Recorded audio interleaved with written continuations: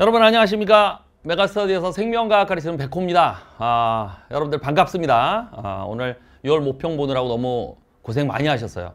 특히 고3 학생들 요런 이렇게 분위기에서 아주 엄중한 분위기에서 이 모의고사 보는 건 처음이죠. 그죠? 교육총보다도 이제 무게감이 더 있었을 텐데 그래서 더 긴장했을 거야. 고생 많이 하셨어요. 자, 그리고 이제 시험 다 끝나서 여러분들 이제 인터넷으로 이제 지금 이거 보고 있는데 아, 내가 첫머리 이 얘기부터 할게요. 6월 모평 점수는 대입에 반영되지 않습니다. 많은 선생님들이 벌써 그 얘기 하셨죠? 절대 이 점수 때문에 막 연연해 하면서 나 망했어, 큰일 났어, 어떻게 막 조급해 하거나 또는 점수 좀 잘 나왔다고 나 생명과학원 이제 다 잡았어. 이제 나, 어? 아, 뭐 좀 이렇게 좀 이렇게 놔둬도 돼. 이런 방심하면 안 됩니다. 알겠죠? 정말 중요한 거는 여러분들 11월 본 수능 점수입니다. 알겠죠?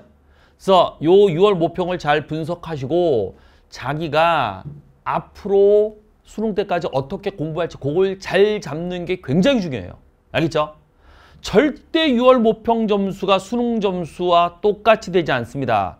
올라가는 것도 있겠지만 떨어질 수도 있어요. 알겠죠? 역전 많이 됩니다. 아, 특히 고3 학생들 지금 마음고생이 많을 거야. 오 생각보다 너무 많이 틀렸어요. 어, 여기저기 보니까 뭐 쉽다라는 얘기도 나오는데요. 그런데 여러분들 고3 학생들은 지금부터 점수가 전반적으로 많이 올라가요. 알겠죠? 힘내시고 N수생들, 재수나 삼수하는 친구들 오 6월 모평 점수나 굉장히 잘 나와서 이런 친구들 종종 있을 텐데 이 점수가 계속 수능에 유지되거나 올라가지 않을 가능성도 꽤 많다라고 하는 걸 여러분들이 좀 생각을 해 주셔야 됩니다. 알겠죠? 그래서 그 얘기 먼저 하고 자 생명과학원 전반적으로 좀 몇 가지 좀 말씀을 드리겠습니다. 오늘 뭐 길게는 못하고요. 국영수도 하고 또 입시 소장님이 설명도 좀 해주시고 그래서 시간이 좀 길어졌죠. 자 물화생지 또 다 하고 그래야 되니까 짤막하게 좀 말씀드리겠습니다. 아, 그 전에 내가 좀 전에 선생님 이제 스튜디오에서 해설 강의는 전부 다 촬영해서 이제 에, 어, 넘겨주고 왔어요. 그래서 아마 오늘 중으로 업로드가 될 거야. 알겠지? 그리고 어, 그 문제에 대한 해설을 거기서 참고하시고 여기는 전반적인 총평, 분석, 향후 대책 간단하게 말씀드리겠습니다. 알겠지? 자, 생명과학 원은 전반적으로 평이했습니다. 자, 올해 6월 모평 요 문제 난이도가 작년 6월 모평과 좀 비슷하다라고 보여요. 근데 선생님이 개인적으로 봤을 때는 작년 6월 모평이 좀 더 어려웠거든요. 올해 6월 모평이 좀 더 쉽고. 근데 학생들은 조금 달랐나 봐요. 등급컷이 좀 비슷하게 형성되어 있습니다. 알겠죠? 하여간 그래서 이 올해 6월 모평이 조금 더 쉽지 않나. 근데 등급컷은 비슷해서 내가 등호를 좀 처리를 했습니다. 중요한 거는 작년 수능에 비해서는 작년 6월 모평도 쉬웠고 올해 6월 모평도 훨씬 쉬워요. 알겠죠? 한 두 문제 정도 쉽다라고 봐야 됩니다. 그러면 올해 수능도 이 정도 기준으로 여러분들이 대비를 해 주셔야 돼. 더 어렵게 나올 수도 있다까지 하면 더 좋고. 알겠지? 그래서 평이했다. 그렇게 여러분들이 생각해 주면 되고요. 자, 그 다음에 문제 구성이 어떻게 되느냐. 20문제인 거 다 알죠. 개념형이 13문제, 추론형이 7문제. 보통 이게 쉬운 문제들이고 개념형 13문제가 그리고 7문제는 이거 킬러 문제, 준 킬러 문제들이 한 7문제 이렇게 되는데 논리적으로 따져야 되는 거죠. 자, 이것들 중에 개념형은 뭐 특별한 게 없어요. 그냥 뭐 여태까지 나왔던 기출문제 살짝 변형한 것. 그래서 한 문제당 20초 내지 조금 지문이 길면 30초 정도 만에 다 풀 수 있는 문제들입니다. 알겠죠? 그래서 무난무난하게 다 풀 수 있는 거. 자, 추론용 중에서 독특한 게 좀 하나가 있었어요. 뭐가 있었느냐? 바로 17번 문제. 뭔지 아시죠? 다인자 가계도가 나왔습니다. 거기다 중간 유전까지 들어갔어. 중간 유전까지 포함, 중간 유전 가계도도 나온 적이 없었거든요. 중간 유전만 들어가도 독특했는데 거기다 충격적으로 다인자가 들어간 가계도가 나왔습니다. 그래서 이거를 학생들이 많이 힘들어 했을 거야. 이게 가장 특징적이었고 그리고 나머지 것들은 좀 이따 뒤에서 얘기하는데 이거 이외에 나머지는 다 기출 변형 또는 조금 낯선 소재이긴 하지만 그래도 풀면 다 논리적으로 탁탁탁 풀릴 수 있는 문제들이다 라고 보입니다. 참고로 작년 6월 모평에는 다인자 문제가 굉장히 센세이션했죠. 자 그리고 다른 것들도 조금 조금씩 틀어놓은 문제들이 좀 있어서 전반적으로 올해 6월 모평보다 문제 자체는 어려워 보였는데 하여간 등급 것은 좀 비슷하게 형성되어 있는 거고요. EBS 수능 특강 반영한 문제가 요 17번 그게 반영이 된 겁니다. 수능 특강의 153페이지 11번 문제가 요 17번과 좀 비슷해요. 물론 수능 특강 문제보단 17번이 훨씬 더 어렵긴 합니다. 근데 그 아이디어를 차용을 했어요. 그래서 수특도 여러분들이 공부를 좀 하셔야 됩니다. 올해 내가 어, 전부 다 그 수능 특강 요거에 대한 어, 대비 강의도 다 했었죠. 자, 고난도 추론용 개념용 문항들은 뭐 특별한 게 없어서 이제 볼 거 없고 7번 세포 매칭 되게 쉬웠어요. 근수축이 독특했죠. 근수축이 요 요 어 요 요 문제잖아. 요 문제. 그지? 근데 요렇게 분수꼴 조건을 줘 가지고 좀 당황하게끔 만들었는데 워낙 x 길이 3.0 a 대길이 1.6 해서 조건을 다 줬어요. 그래서 방정식 몇 개 세워 가지고 맞추거나 내 해설 강의 할 때 했는데 보기만 잘 봐도 답이 탁탁 나오게끔 좀 해놓긴 했습니다. 약간 요게 좀 독특했고 요건 여러분들이 조금 더 빨리 풀고 실수 없이 변형되더라도 잘 풀 수 있게끔 연습을 좀 해 두셔야 됩니다. 알겠지? 자, 그리고 또 어, 흥분 전도. 요거는 그냥 전달, 시냅스가 있긴 했지만 이것도 무난무난했습니다. 에, 좀 연습이 된 친구들은 잘 풀었을 거고 참고로 선생님이 그 백호 메가스터디 백호 페이지 공지에 에, 6월 모평에 대해서 자기가 조금 음, 상담이 필요하다, 컨설팅 필요하다 그러면 글을 올리라 그랬거든요. 근데 벌써 한 30개 정도 글이 올라와서 내가 바로 직전에 쭉 스캔하고 왔는데 전도 속도 문제가 아직 안 잡혀요. 그런 애들 꽤 있더라고. 근데 이거 연습하면요. 유전 쪽, 다인자나 복대립이나 가계도 이런 것보다 훨씬 더 잘 잡혀요. 아직 여러분들 공부량이 충분히 되지 않아서 그런데 이거는 충분히 요거는 잡을 수 있는 유형이다. 어, 할만했고. 핵형 분석 이것도 좀 할만했고요. 근데 아직은 정답률이 좀 낮은데 수능 가면 이거 정답률 70% 이상 나와요. 자, 가계도 변형된 거 15번. 그 막대 그래프 있고 표를 준 거. 그래서 세계 형질 갖고 가계도 비슷하게 그려서 이제 해야 되는 문제인데 요게 낯선 소재이긴 했지만 논리적으로 탁탁탁 풀립니다. 요거 17번 다인자 가계도 아까 얘기했죠. 중간 유전까지 포함된 거. 이게 굉장히 요번 6월 모평을 대표할 수 있는 가장 독특한 문제 유형입니다. 그래서 다인자 가계도 내가 많이 제공해 줄 거야. 그 작년에 다인자 가계도가 처음으로 EBS 수능 특강에 나왔었거든. 그래서 선생님이 다인자 가계도 문제를 작년에 1년 내내 모의고사와 올바울에 계속 제공을 했다고. 근데 수능이 결국 안 나왔어. 근데 올해는 6월 모평부터 다인자 가계도가 나오니까 올해 수능에 다인자 가계도가 나올 가능성 선생님은 50% 정도 있다고 봐요. 요거 대비하셔야 됩니다. 근데 의외로 다인자 가계도 조건을 많이 줘서 풀만해요. 너무 쫄 필요까지는 없습니다. 알겠지? 19번 치환도리 변이가 있는데 기형 유전자가 니은 유전자로 바뀌는 거. ABO랑 상유전자 연관된 거 하나 있고 반성 유전 있고. 요거 가계 표 형식으로 줬는데요. 이거는 무난했습니다. 근데 학생들이 이거 많이 틀렸거든. 아마 17번 풀다가 시간 부족해서 19번을 찍은 거 아닌가 생각이 들어. 그러니까 요것도 여러분들 시험 전략을 좀 고, 민을 하셔야 돼.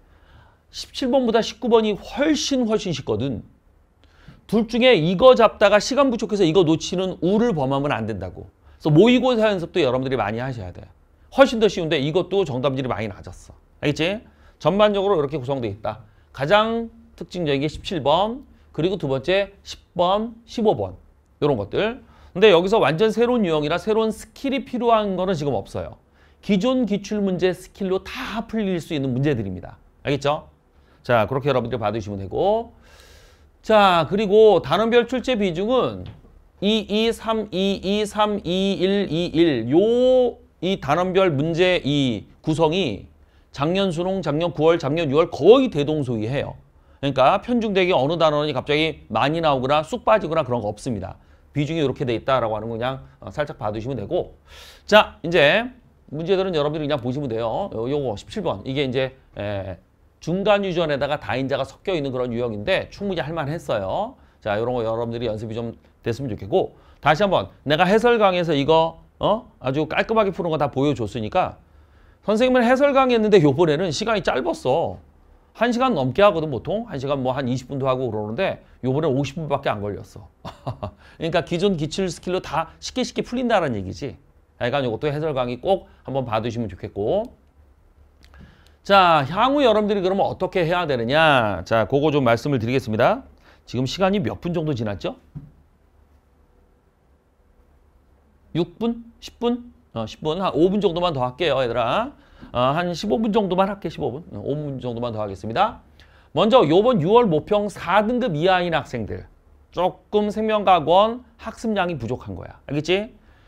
개념 학습 먼저 하세요. 섬기한이나 스기한 안 들었다 그러면 이거부터 들으시고 혹시 들었는데도 부족하다 그러면 부족한 단원만이라도 선택적으로 좀 공부하시고 자 그리고 기출문제 그거는 여러분들이 정말 여러 번 풀어야 됩니다. 기출 변형된 문제들이 대부분이니까 그리고 13 플러스 7 개념형 열쇠 문제 추론형 일곱 문제 중에 열쇠 문제도 다 못 잡았다라고 볼 수 있어요. 개념형 열쇠 문제는 쉽거든요. 섬기한과 스기한만 제대로 들어도 다 잡아요. 그리고 모의고사 연습은 개념형 모의고사 있습니다. 상크스의 부록으로 돼 있는데 따로 판매도 하거든요. 비타민 페이지에서. 진짜 효율적이니까 이거 반드시 푸세요. 여러 번 푸세요. 알겠죠? 개념형 모의고사.